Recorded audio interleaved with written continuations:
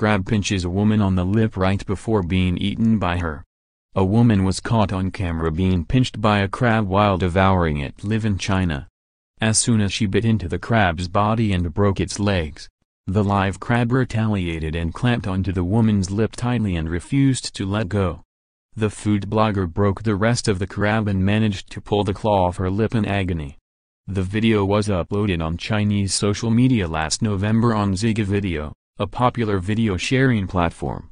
It's not clear what dish she was eating but there were suggestions that the woman was eating drunken crabs.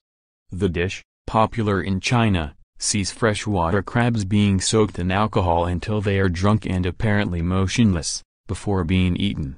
The same method is used to prepare shrimps too. Similar dishes can be found in other parts of China, such as half-cooked fish.